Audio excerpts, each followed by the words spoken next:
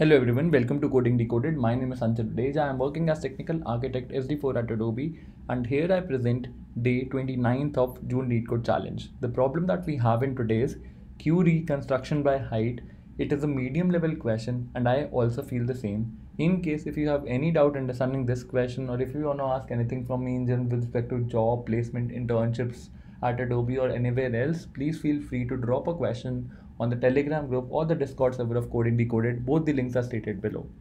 Now let's focus our attention onto queue reconstruction by height. So here in this uh, question we are given an array wherein each element of the array has two attributes in it.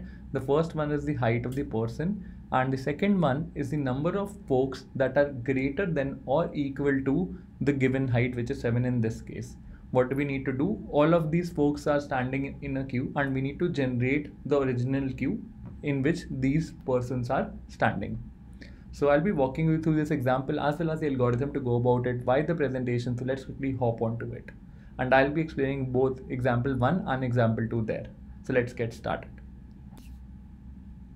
LeetCode 406 queue reconstruction by height and let's get started with understanding the first example. Here the elements are 704471506152 and as per the question each element of this array has two attributes. The first one is the height of that person and the number of folks that are standing in the queue that have a height greater than this person's height, which in this case would be 7.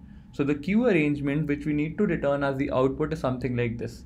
So if you carefully observe, then the starting queue element has 5 at it and 0 people have a height greater than 5 in front of this person. So there is nobody standing at before this person and the height of this person is of 5 units. So let me just draw it something like this. So the height of this person is 5 units and nobody has a height greater than 5 standing in front of it. Let's proceed ahead. The next one is 7 comma 0 and this person has a height of 7 units and no other person has a height greater than this person that is standing in front of it. Let's proceed ahead. Next we have is 5 comma 2 that means this person has a height of 5 units and two people are standing in front of it that have height greater than or equal to this person.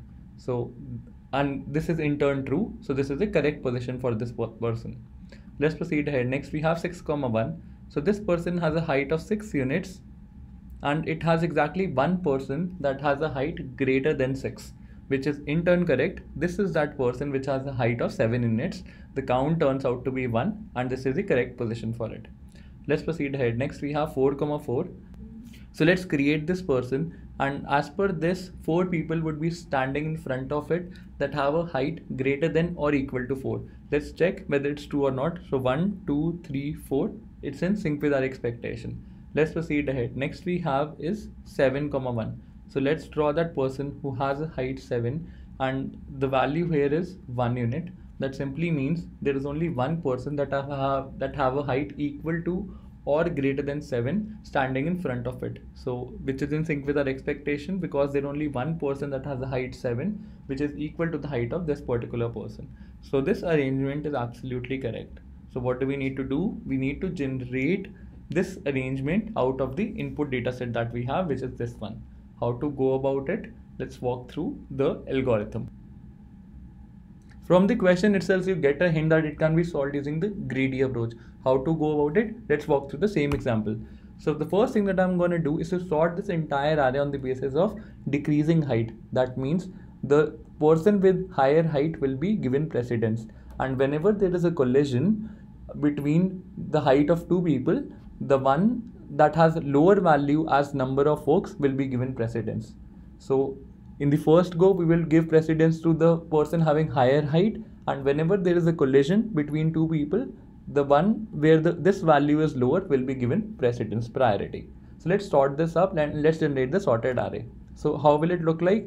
So uh, it will look like something like this. 7 0 we'll have as a first element because 7 is the maximum height in the entire array.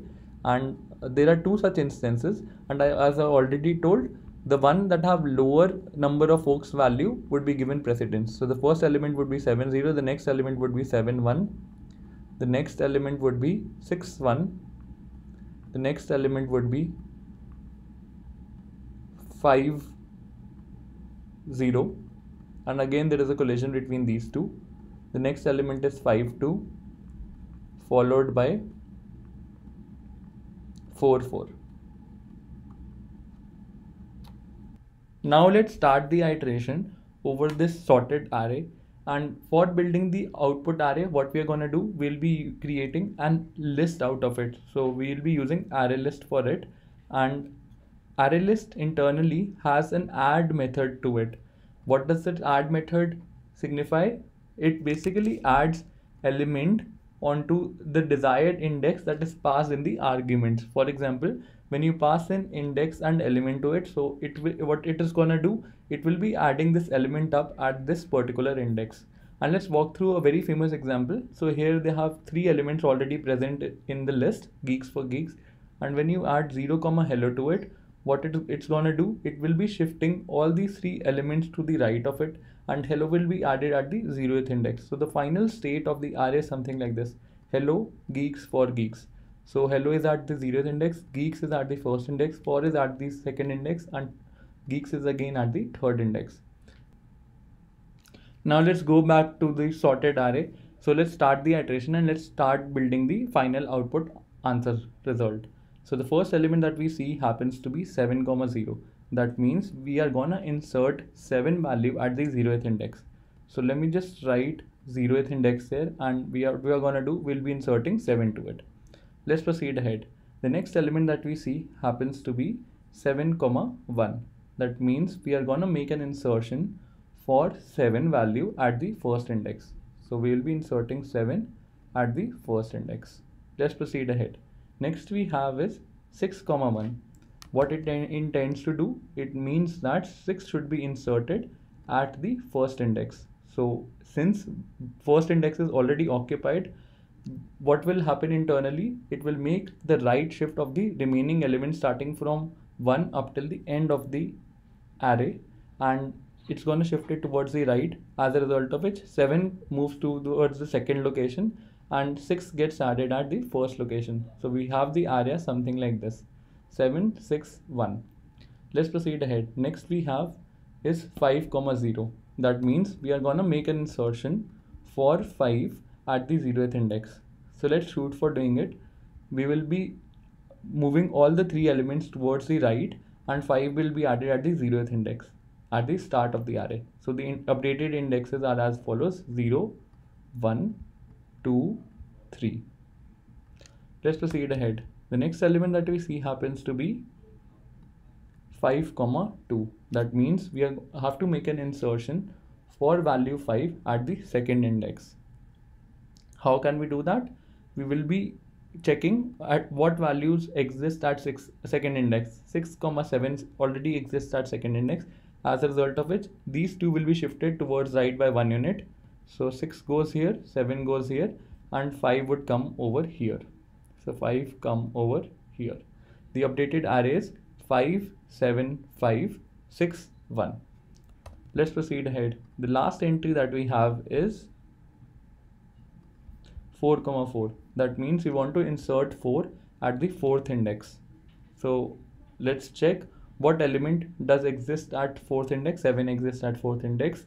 And since it is already occupied we are going to shift it by one unit towards right. It gets shifted by one unit towards right and 4 gets replaced.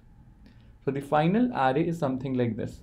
We have element as 5 7 5 6 4 7 which is in sync with our expectation. So if you check this up, then you will yourself see that this is the desired array that has been generated. 5 7 5 6 4 7 5 7 5 6 4 7 and let's walk through another example to get a better hold of the concept which is even simpler than this.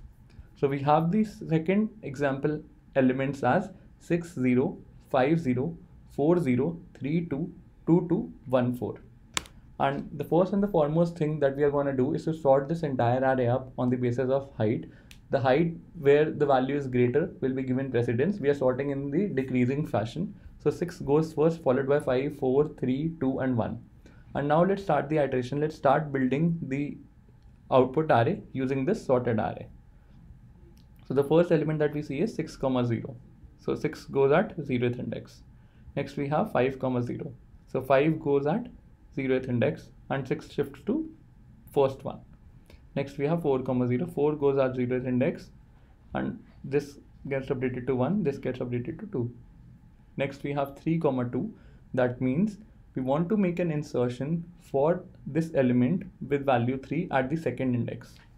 So let's do that and uh, at second index a value already exists it's gonna shift by one unit towards right 6 goes here and it gets replaced by 3 let's proceed ahead next we have 2 comma 2 and that simply means we want to insert the height 2 at the second index. So let's do that.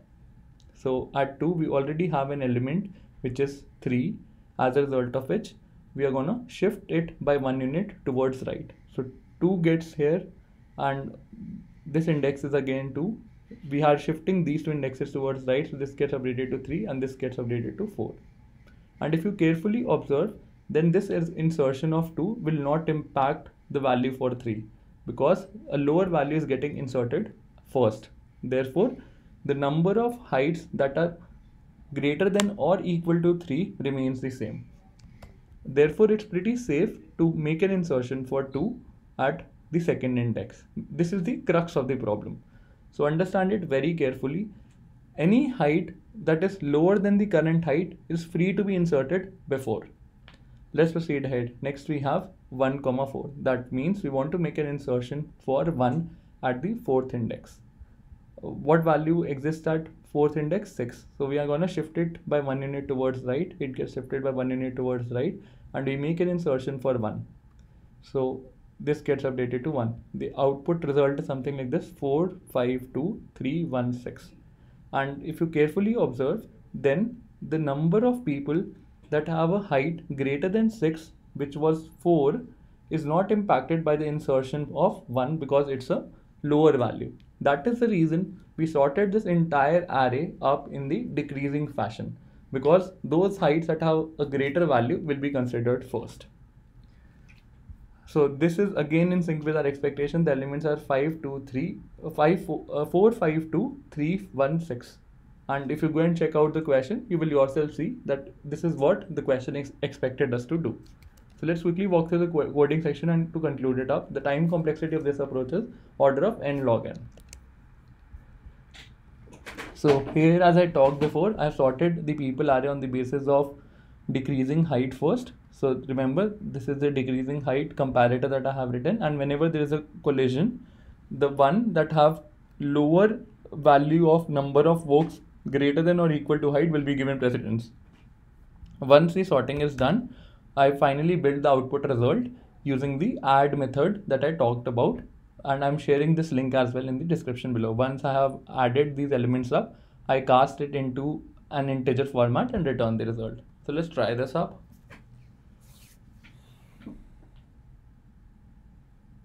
accepted. 27% faster. It is because uh, this method is expensive in nature because it every time shifts the elements towards right by one unit. There are other approaches to optimize the time complexity but the crux of the problem lies in writing this sort method appropriately. The time complexity of this approach is order of n log n and time complexity space complexity is order of constant time. We are not using extra except for building the output result. With this let's wrap up today's session. I hope you enjoyed it. If you did then please don't forget to like share and subscribe to the channel. Thanks for viewing it. Have a great day ahead and stay tuned for more updates from coding decoded. I'll see you tomorrow with another fresh question